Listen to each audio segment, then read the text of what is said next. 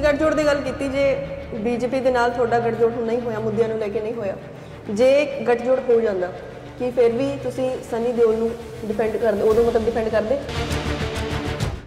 ਤੇ ਐਤਕੀ ਮਤਲਬ ਤੁਹਾਨੂੰ ਲੱਗ ਰਿਹਾ ਕਿ ਜਿੰਨਾ ਹੁਣ ਮਤਲਬ ਤੁਸੀਂ ਗੱਲ ਕਰ ਰਹੇ ਵੀ ਨੁਕਸਾਨ ਜਿੰਨਾ ਕੁ ਹੋਇਆ, ਉਹ ਕਿਉਂਕਿ ਬੀਜੇਪੀ ਦੇ ਕੋਲ ਸੀਗੇ, ਪਹਿਲਾ ਸੀਟ ਤਾਂ ਕਰਕੇ ਹੋਇਆ, ਬਸਪਾ ਨਾਲ ਸੀ ਤਾਂ ਕਰਕੇ ਹੋਇਆ। ਤਾਂ ਹੁਣ ਜਦੋਂ ਤੁਸੀਂ ਇਕੱਲੇ ਹੋ ਤਾਂ ਹੁਣ ਥੋੜੀ ਤਾਕਤ ਦੁੱਗਣੀ ਹੈ ਤੁਸੀਂ ਕਹਿੰਦੇ ਹੋ। ਨਹੀਂ, ਸਾਡੇ ਜਿਹੜੇ ਪਠਾਨਕੋਟ, ਸਜਾਨਪੁਰ ਤੇ ਉਧਰ ਲੋਕ ਆ ਜਿਹੜੇ ਅਕਾਲੀ ਦਲ ਨੂੰ ਸ਼ੁਰੂ ਤੋਂ ਲਾਈਕ ਕਰਦੇ ਆ ਪਰ ਇਲੈਕਸ਼ਨ ਨਹੀਂ ਸੀ ਲੜ ਸਕਦੇ ਸਾਡੇ ਸਿੰਬਲ ਤੇ ਕਿਉਂਕਿ ਬੀਜੇਪੀ ਕੋਲੇ ਸੀਟ ਗਹਿਣੇ ਪਈ ਹੋਈ ਤੇ ਉਹਨਾਂ ਦਾ ਇਹ ਲੱਗਦਾ ਵੀ ਦੇਸ਼ ਆਜ਼ਾਦ ਹੋ ਗਿਆ।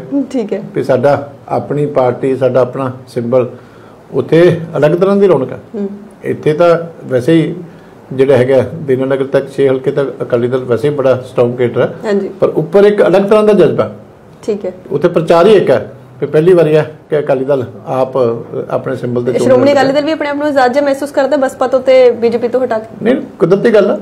ਹੂੰ। ਸਾਡੇ ਵੀ ਹਾਰਟ ਬਰਨਿੰਗ ਤਾਂ ਹੁੰਦੀ ਸੀ ਕਿ ਕੈਂਡੀਡੇਟ ਉਹਨਾਂ ਕੋ ਹੁੰਦੇ ਨਹੀਂ। ਹੂੰ। ਮੇਰਾ ਐਗਜ਼ਾਮਪਲ ਹੈ ਨਾ ਪਰ ਇਹ- ਇਹ ਸਵਾਲ ਤਾਂ ਰਹਿੰਦਾ ਹੈ। ਕਰਨਾ ਤੇ ਜਿਹੜੀ ਹੈਗੀ ਆ ਤੁਸੀਂ 20 ਸਾਲ ਫੀਲਡ ਕਰਦੇ ਰਹੇ ਹੋ। ਜੀ। ਤੇ ਤੁਸੀਂ ਕਲੇਮ ਕਰਦੇ ਹੋ ਕਿ ਸਾਡਾ ਸਟਰੋਂਗ ਹੋਲਡ ਆ ਗੁਰਦਾਸਪੁਰ।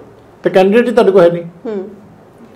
ਅੰਮ੍ਰਿਤਸਰ ਤੁਸੀਂ ਕਲੇਮ ਕਰਦੇ ਹੋ ਕੈਂਡੀਡੇਟ ਤੁਸੀਂ ਹਰ ਵਾਰੀ ਹੁਣ ਵੀ ਕੈਂਡੀਡੇਟ ਜਿਹੜਾ ਹੈਗਾ ਇੱਕ ਬਿਊਰੋਕਰੇਟ ਨੂੰ ਲੈ ਲੈ ਕੇ ਤੇ ਡਿਵੈਲਪਮੈਂਟ ਨੂੰ ਲਿਆ ਕੇ ਜੀ ਤੇ ਜੀ। ਤੁਸੀਂ ਕੈਂਡੀਡੇਟ ਤਾਂ ਸੁਣੋ ਕਿ ਜਿੱਥੇ ਕੈਂਡੀਡੇਟ ਹੁੰਦਾ ਉੱਥੇ ਲੀਡਰ ਵੀ ਹੁੰਦਾ। ਹੂੰ। ਪਰ ਜਿਵੇਂ ਹੁਣੇ ਤੁਸੀਂ ਜ਼ਿਕਰ ਕੀਤਾ ਵੀ ਅਸੀਂ ਮਹਿਸੂਸ ਤਾਂ ਕਰਦੇ ਸੀਗੇ ਉਦੋਂ, ਹਨਾ?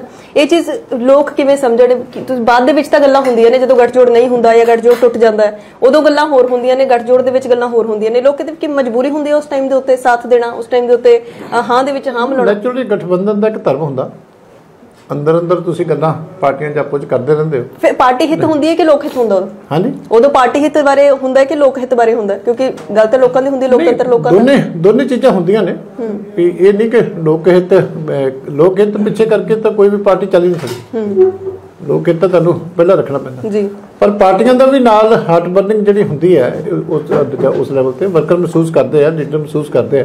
ਉਹ ਇੰਟਰਨਲ ਜਿਹੜੀਆਂ ਹੈਗੀਆਂ ਪਾਰਟੀ ਦੇ ਉਹਦੇ ਚ ਡਿਸਕਸ ਕੀਤੇ ਜਾਂਦੇ ਫੋਰਮ ਦੇ ਵਿੱਚ। ਜੀ। ਤੇ ਅਸੀਂ ਕਰਦੇ ਵੀ ਰਹੇ। ਹੂੰ। ਮਤਲਬ ਬਾਹਰ ਨਹੀਂ ਕਰਦੇ ਉਹਨਾਂ ਕੋਲ ਜਵਾਬ ਕੋਈ ਨਹੀਂ ਹੈ ਵੀ ਤੁਸੀਂ ਸੀਟਾਂ ਸਾਨੂੰ ਚਾਹੀਦੀਆਂ। ਵੀ ਜਿਹੜੀਆਂ ਹੈਗੀਆਂ ਕੈਂਡੀਡੇਟ ਸਾਡੇ ਕੋਲ ਹੈ ਨਹੀਂ